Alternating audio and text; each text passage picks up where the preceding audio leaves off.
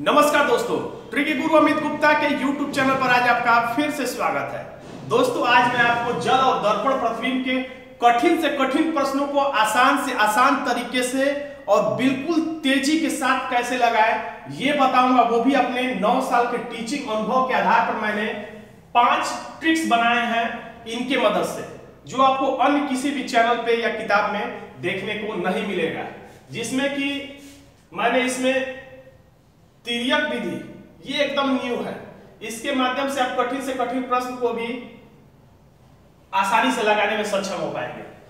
तो दोस्तों, सबसे पहले मैं इसकी कुछ भूमिका बना लेता हूँ। जल और दर्पण क्या होता है? तो जल जैसे कि किसी जलाशय में, नदी, पोखरे, तालाब में, किसी भी आकृति का प्रतिबिंब जो बनता है, मान लीजिए अगर इसके किनारे अगर कोई वृक्ष है ऐसे तो इसका प्रतिबिंब जल में ऐसे बनेगा। यानी कह सकते हैं कि जो ऊपर वृक्ष का भाग था, वो ऊपर था तो इसमें जल में नीचे बना।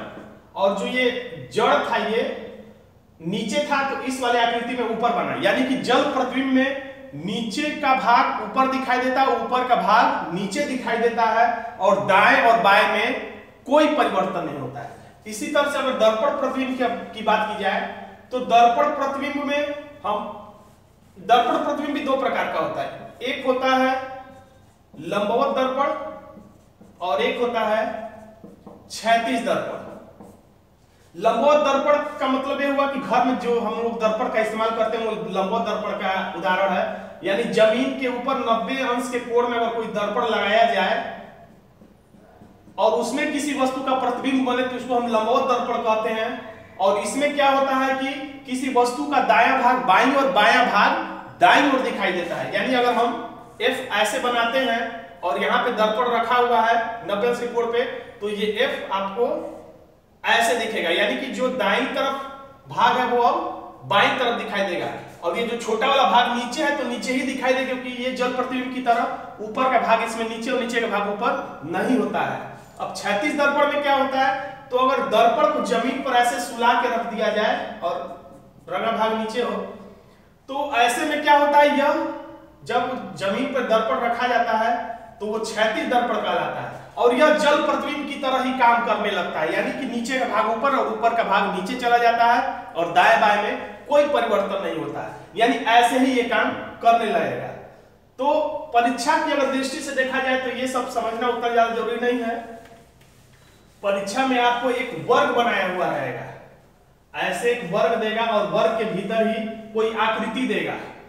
और उस आकृति में कभी दर्पण यहाँ पे बताएगा कि ए बी पे दर्पण रखा जाए और कभी बनाएगा कि दर्पण ए बी पे अगर यहाँ पे रखा जाए।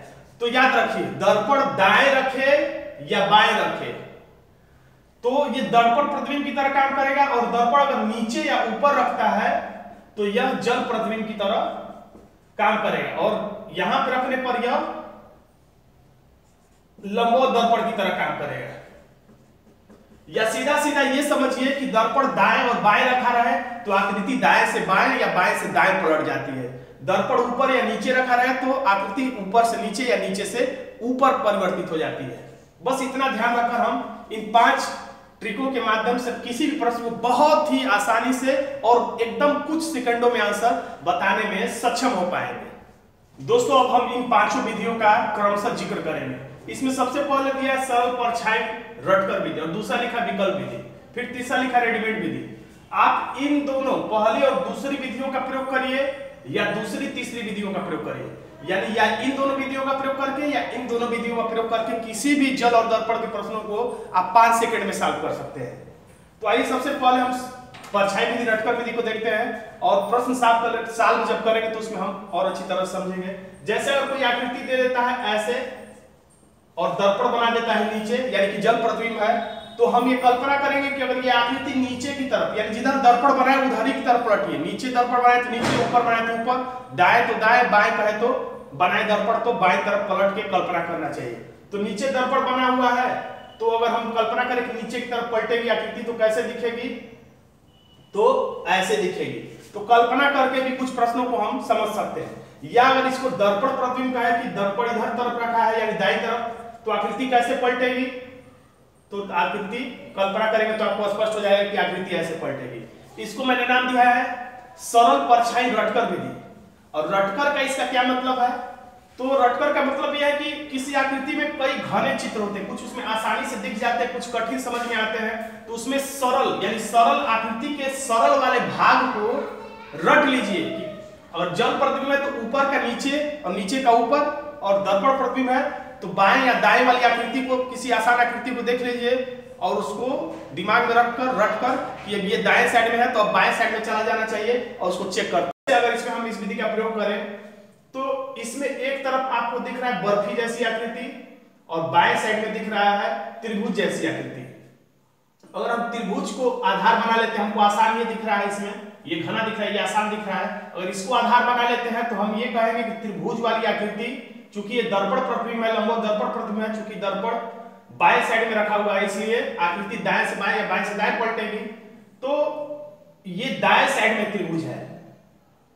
तो इसका हम कल्पना करते हैं कि ये आकृति जो दाएँ साइड में त्रिभुज है, वो अब पलट के बाएँ साइड में चली जाएगी। तो बाएँ साइड में त्रिभुज होना चाहिए। तो इसमें बाएँ साइड में त्रिभुज नहीं है, इसमें बाएँ साइड में त्रिभुज नहीं है, इसमें भी बाएँ साइड में त्रिभुज नहीं, बल्कि बर्फ़ी है, इसलिए ये भी नहीं होगा। इसी में ऐसा विकल्प है जिसमें बाएँ साइड में त्रिभुज है। तो यही हमारा आंसर हो गया। बाई चांस अगर हमारा निगाह इस पर सबसे पहले पड़ा होता, यानी कि बाएँ साइड में एक बर्फ़ी है, बर्फ़ी जैसी आकृति है।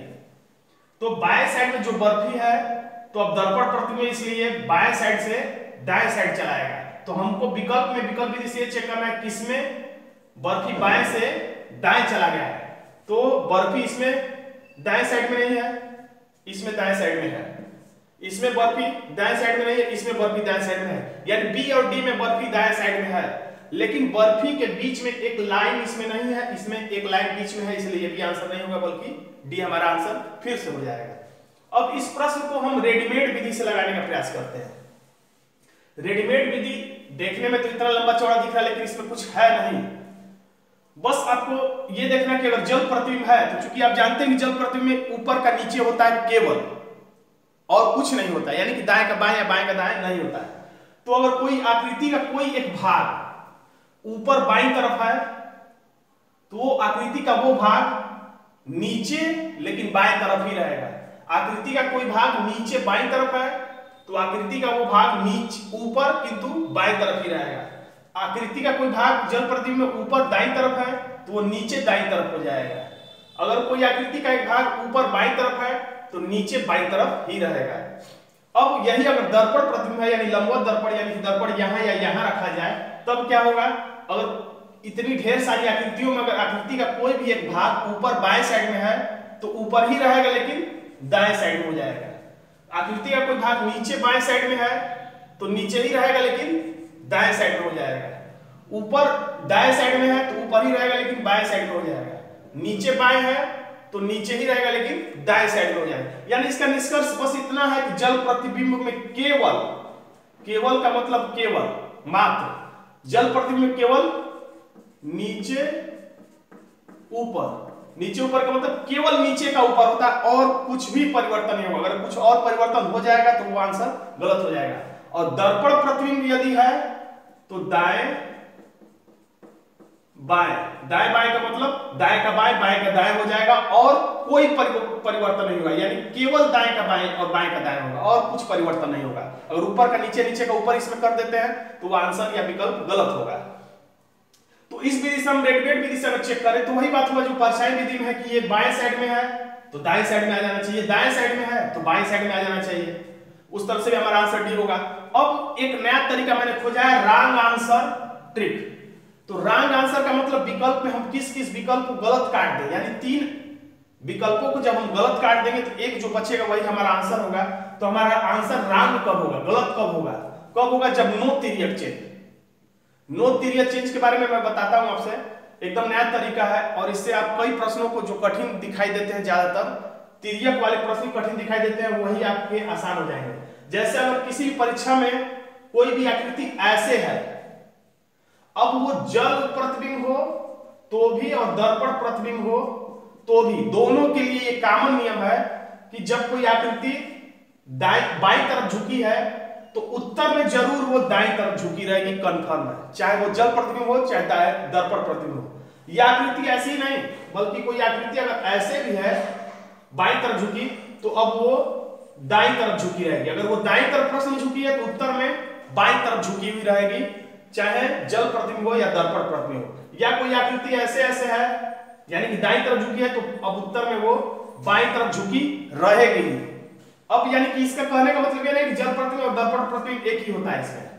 अंतर तब पता चलेगा, हमने बस ये रेखा बताया कि दाएँ झुका है तो बाएँ हो जाएगा।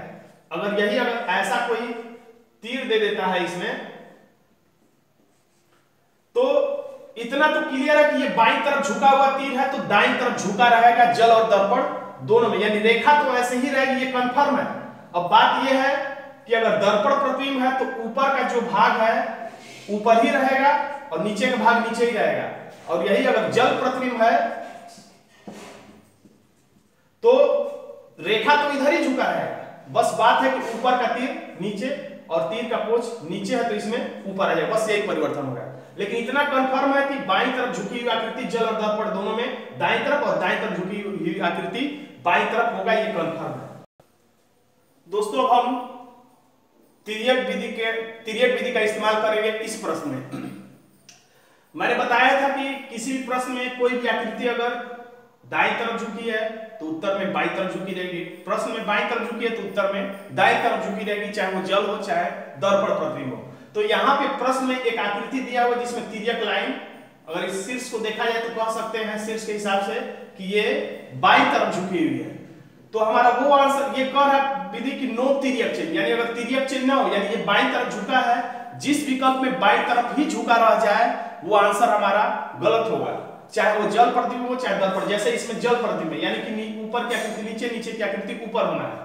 तो तिरक विधि बिना दिमाग लगाए तिरक विधि कहता है कि बाई तरफ़ झुका है तो बाई तरफ़ झुका वाला विकल्प, यानी कि ए गलत होगा, क्योंकि इसमें बाई तरफ़ झुका रह गया, इसमें भी बाई तरफ़ झुका रह गया इसमें बाई तरफ़ झुका रह गया, और इस तरह से हमारा आंसर डी है।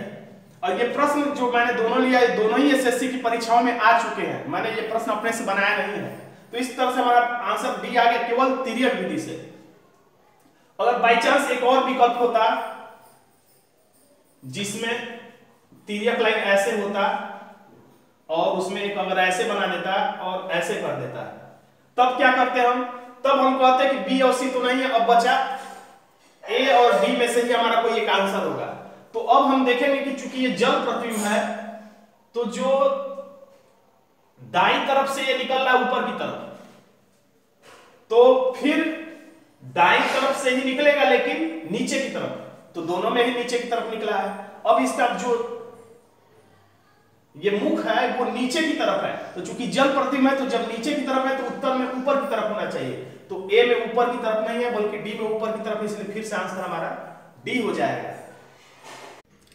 दोस्तों, अभी यह वीडियो समाप्त नहीं हुआ है, लेकिन वीडियो लंबा खिंच जाने के कारण हम इस वीडियो को यहीं पे रोक देते हैं।